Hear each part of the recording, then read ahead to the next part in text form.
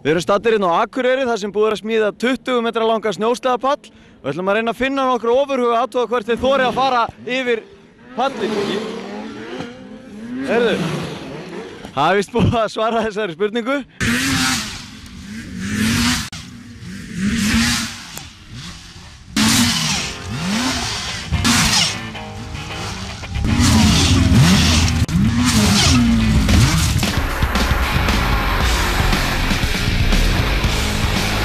Akureyri er kallaður sleðabærin því að hérna eiga allir sleða.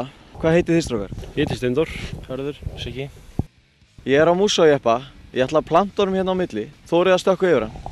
Já, við heldum við reyna Við, alla. við, við samt ábyrgist ekki neitt sko. Jó, þið borgið bílinn ef þið þetta er Þannig að þessi vel tröður það. Já, við, við vorum að hjálpa mér þá að skafa hann úr, ekki. Ég trú á ykkur, ég ætla að planta jeppanum undir og þið jumpið yfir hann. Já, já, ekki máli. Go for it.